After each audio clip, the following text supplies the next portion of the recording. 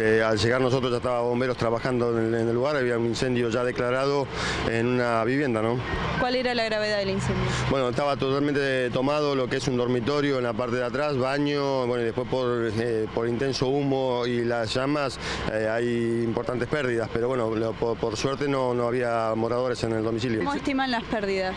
Y eh, bastante importante, ya sabemos de que bueno, en un dormitorio es el 100%, después en el baño también, una habitación pegada a esta otra también, eh, y bueno, después por acción del humo y, y las llamas, de intenso calor, las pérdidas son bastante importantes, sí. ¿Cómo se originó?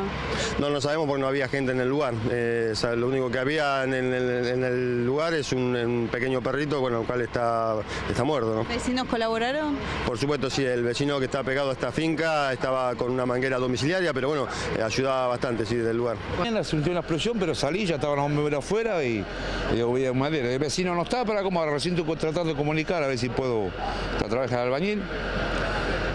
Así Mencionó que escuchó una explosión. una explosión, algo así, pero ha sido de la explosión de la puerta, que ellos los bomberos la abrieron. Ahora, ¿las llamas alcanzaban a, a gran altura? ¿Cómo, cómo No, vio? no, él? no, no, todo humo, madera, se ve que está ahogado. Al no tener aire, no, no, o sea, hay fuego, pero hay más humo que, que fuego.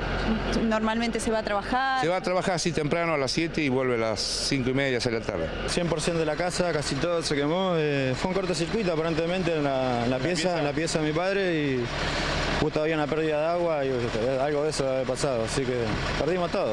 ¿Sospechás que es por eso que, que Ah, se lo, lo que dicen los, los- los bomberos, lo que me dijo, lo que me dijo el bombero recién. ¿viste?